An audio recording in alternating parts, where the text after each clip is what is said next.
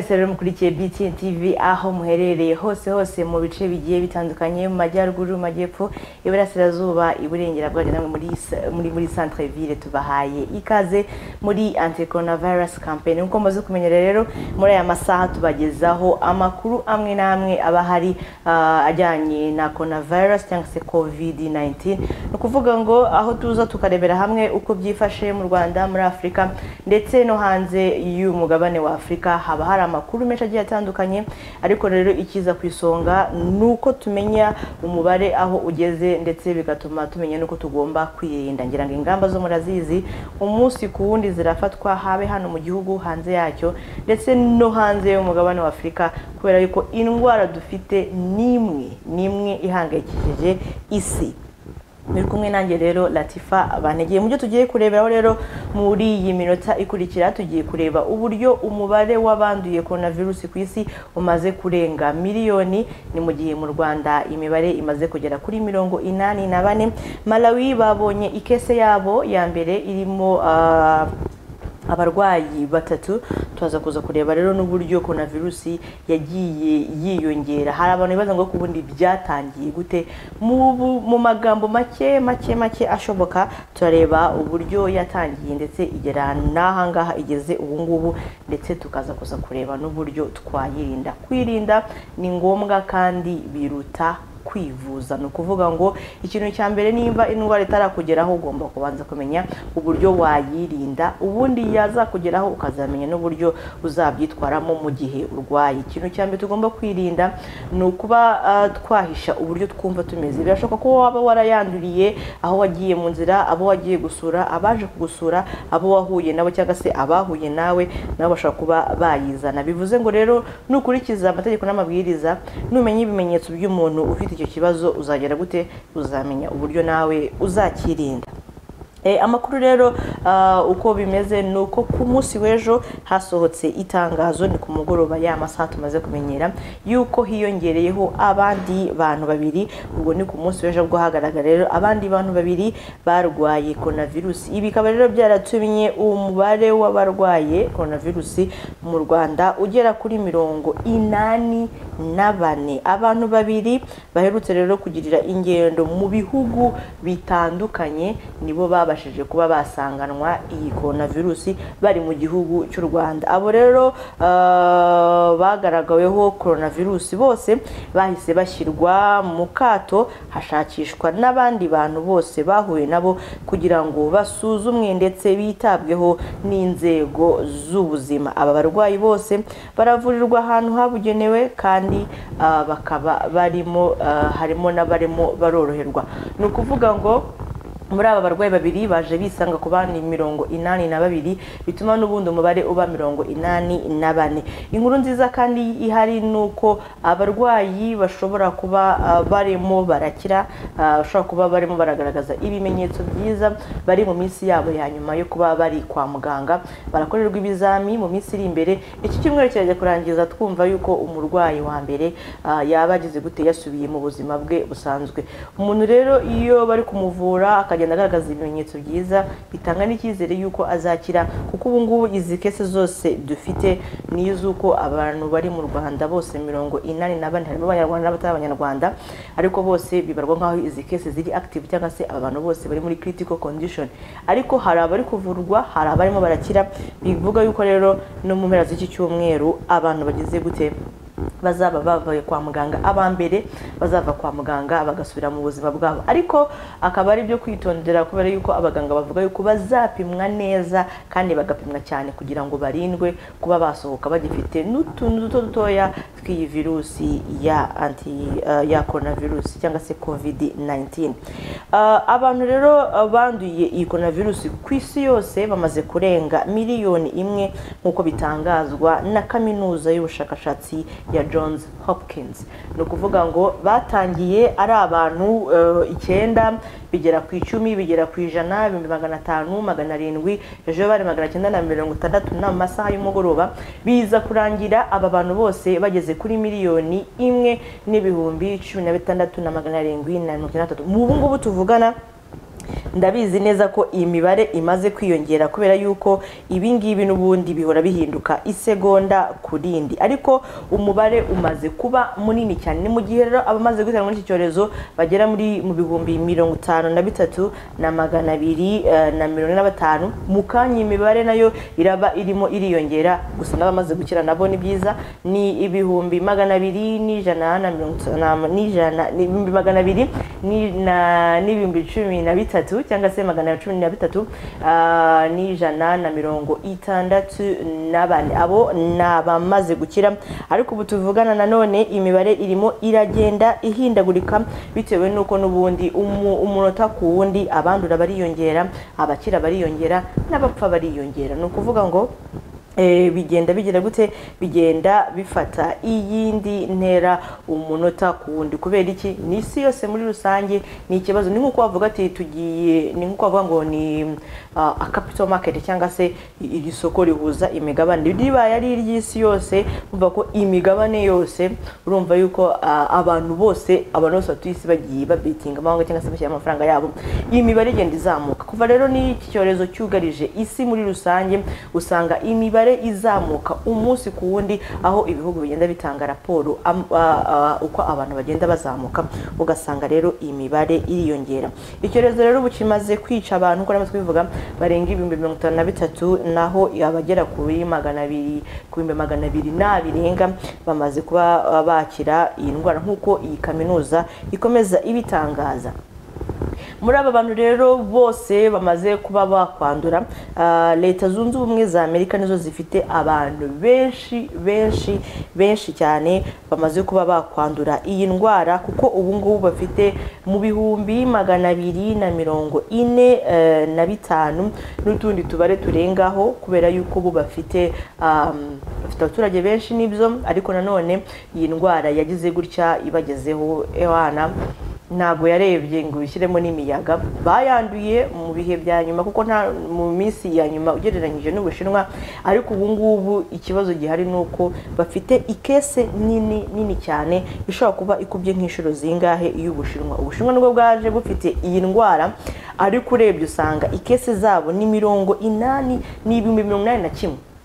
Nibo bafite iyi urumva iyi ni imibare y'ejo uburyo abantu bagize gute abantu babashije kuba ah, bakwitaba imana ugereranyije nanone ni kese ziriho ubu ngubu. Ku munsi w'ejo ah, mu- muri amerika ababashije kuba bakwishwa n'iyi ndwara ni ibihumbi magana cyenda na mirongo itandatu n'umunani. Ku munsi w'ejo gusa ni mu gihe mu bufaransa bo igihumbi na magana atatu na mirongo itanu na batanu babashije kuba bagira gute? Bahitanwa n'iyi ndwara. Ku nshuro ya mbere mu bufaransa iyi ndwara ihitanye abantu benshi benshi benshi cyane.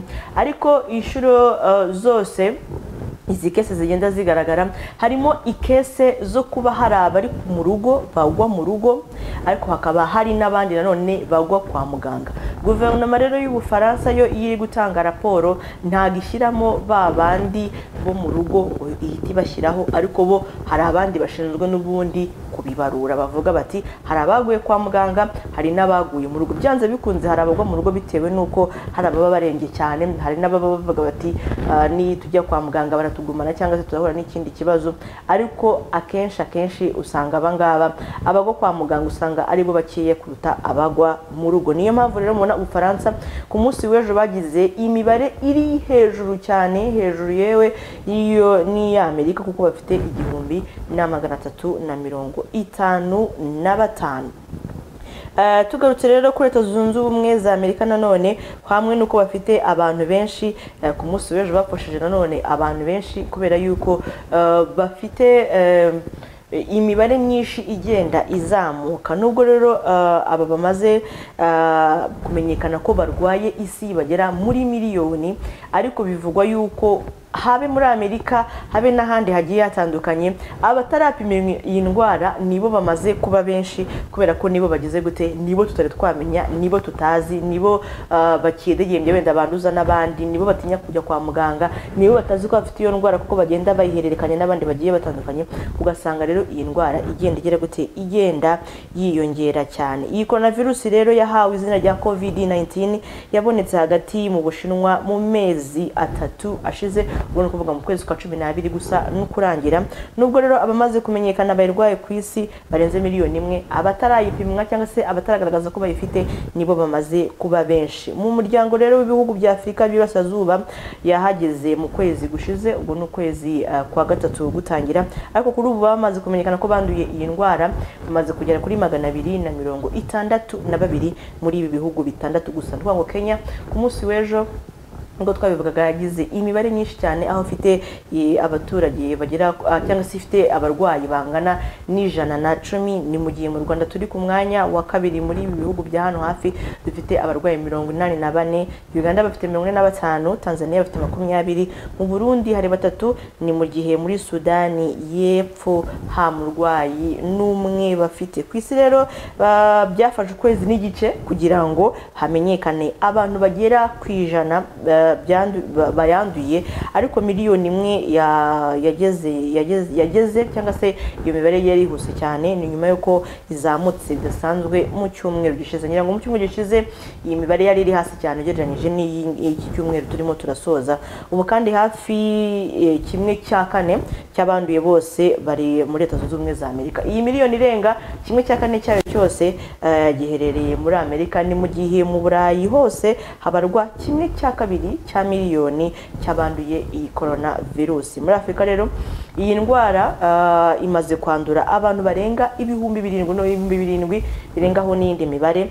Marawi rero kimwe mu bihugu bike byari bisigaye na cyo cyagize gute? Cyabashije kuba cyabona ikese y'abantu ikese z'abantu batatu banduye iyi ndwara. Ni umuhinde rero umwe wanduje uwo mu muryango we nanone ndetse nanone yanduza n'umukozi wo mu rugo. Ibi rero byatumye aho covid itari yagaragara mu gihugu cyangwa se ku mugabane wa afurika ni mu gihugu cya Lesotho. Muri sudani y'epfo hari ibirwa cyangwa se ile de comore ndetse n'ibirwa bya sao tome na principe. Hasigaye ibirwa bibiri n'ibihugu bibiri ku mugabane wa afurika bitari byagaragaramo iyo ndwara. Aba rero ni abantu bagize gute? Ni abantu bari mu kaga kubera yuko ibihugu bigenzi byabyo cyangwa se ibihugu bituranye byabyo byose bifite iyi ndwara ya covid. Bivuga ngo kwirinda kwabo kugomba kuzamuka kukajya hejuru cyane kugira ngo birinde yuko hari n'umuntu wagira gute wakwinjira mu icyo gihugu yifite akaba nabo yabateza iyo ndwara.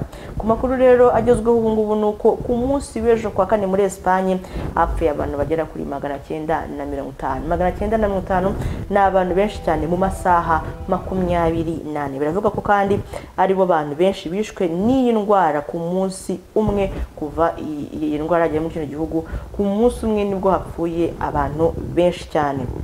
Nk'uko twabivuze nanone ku munsi w'ejo nanone mu gihugu cy'ubufaransa hapfuye abantu bagera ku gihumbi na magana atatu na mirongo itanu na batanu. Bikaba kandi bivugwa yuko ari bo nanone bantu benshi bishwe n'iyi ndwara mu munsi umwe. Twabonye yuko impamvu bano bantu biyongereye cyane ari uko hari abagwa kwa muganga hari n'abagwa mu rugo akaba ariyo mpamvu imibare igera gute ikomeza kwiyongera. Mu minsi rero ishize iyi mibare yari iri hasi ariko kuri ubu ngubu iyi mibare ikaba iri hejuru cyane. Muri Espagne rero uburyo igihugu cya kabiri kizahaye bijyanye n'abo ihitana kuko imaze kwica abarenga ibihumbi icumi inyuma y'ubutaliyani aho imaze kwica abagera ku bihumbi cumi na bitatu. Urumva rero ko ibintu bitageze gute ibintu ntabwo bimeze neza.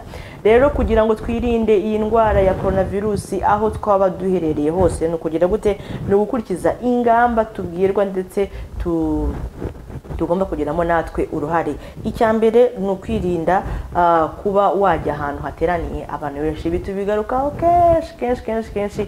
Ariko ntabwo tuzareka kubivuga tuzagumye tubivuge mpaka buri muntu wese mu rugo rwe hariyo kandagira ukarabe kubera yuko ni cyo kintu cyonyine kizatuma ugira gute? Ugira isuku mu rugo iwawe. Ni ukuvuga ngo ni ukaraba kenshi gashoboka ugakaraba ukoresheje amazi meza n'isabuni kugira ngo wirinde iyo coronavirus.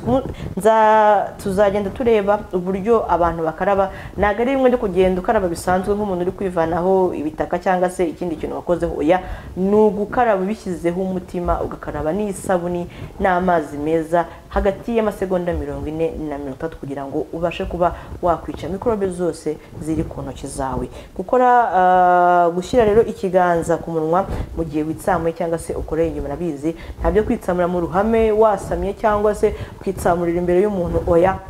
Tugomba kwirinda ubundi mu muco kinyarwanda iyo umuntu yitsamye cyangwa akoroye yigira hirya kugira ngo atagira gute atagira abo yanduza n'izo ndwara afite. Ibi rero byajya byagaruka yaho ujya kwitsamura ukitarura bagenzi bawe aho ujya gukorora ukitarura bagenzi bawe.